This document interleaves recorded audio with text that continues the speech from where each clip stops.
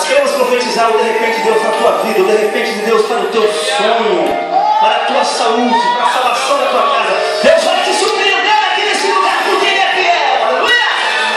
Oh, glória a Deus! Ele sabe o dia e hora que Deus tem